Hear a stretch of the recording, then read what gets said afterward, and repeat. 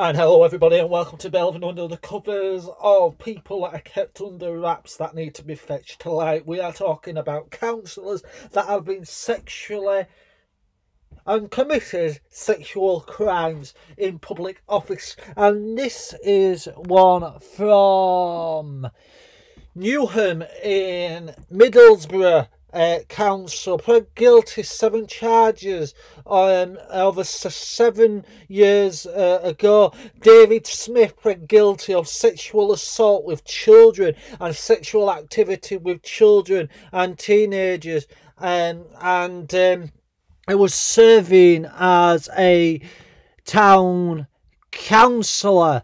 Um, he's pled guilty. Um, and is fighting to actually clear his name.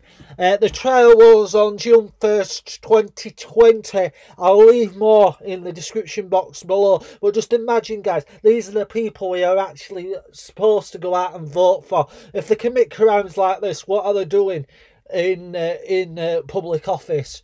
It's disgusting. And uh, these are the people we actually vote for, guys. So when you actually go out on the 6th of May 2021 and you're actually looking into uh, voting a councillor at the local elections here in the UK, do a little bit of homework into these people you are have actually um, been asked to um, vote for. I'll leave uh, more about this story in the description box below.